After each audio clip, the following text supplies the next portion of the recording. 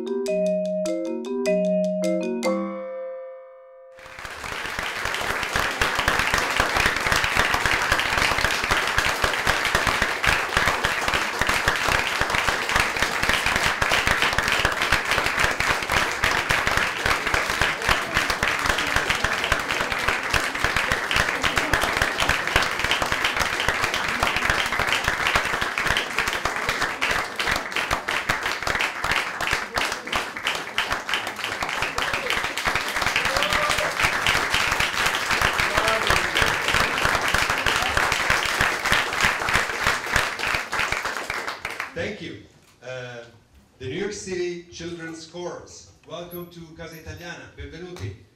They had to learn Italian to perform these pieces, and we are delighted that they did and that they're pronouncing it so well. Uh, just two words. They don't want. I don't want them to stand too long. There are lots of kids in the audience. It's a great pleasure and, and joy for me to introduce this evening. As you know, uh, Le Passioni dell'Aria uh, are seven pieces written, the lyrics by Federica Anichini, who is right here, Federica Pistelli.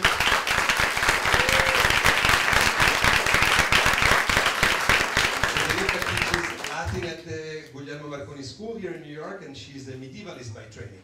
And right there you see Roberto Scarcella Perino.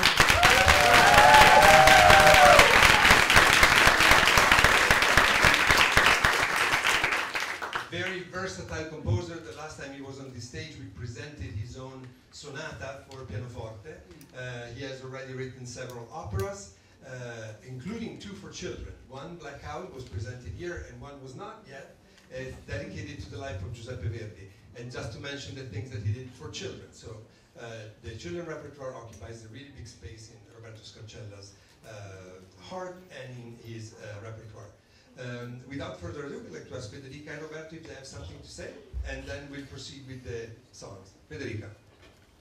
Uh, very briefly, I'm very happy to be here in such a wonderful company, and uh, you will listen tonight to choir music, which is uh, product of a friendship between Roberto and I.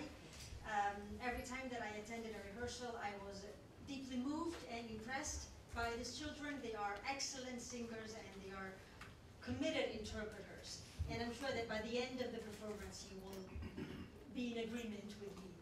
Uh, and yes, it was a pleasure to work with Federica because it was really easy to put her words in uh, my music. Uh, of course, it was fantastic to work with uh, Mary Huff and, uh, and also with uh, Andrew Henderson that is at the piano.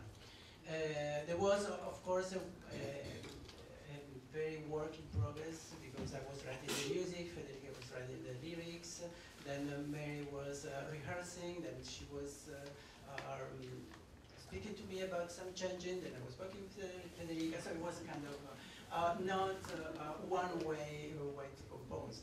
And this actually is always like that when you write operas and you write something with a, with a group. Um, so I want to thank, of course, all the donors uh, for our uh, Kickstarter campaign that uh, you know made everything possible, and of course Stefano Albertini that uh, gave us space and all the support, and, uh, and first of all all the children uh, from the New York City Children's Chorus. So thanks a lot and enjoy.